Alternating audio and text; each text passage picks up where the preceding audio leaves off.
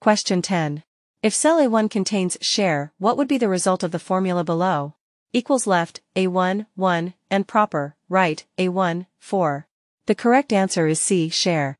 The formula combines the left and proper functions with the text share from cell A1. Left, A1, 1, extracts the first character from the left of the string in cell A1, which is S. Right, A1, 4, extracts the last four characters from the string in cell A1, which is hair. Proper, right, A1, 4, turns the string hair into proper case, making the first character uppercase and the rest lowercase, resulting in hair. Then the formula concatenates these two parts. S and hair becomes share. So, the correct answer is C share.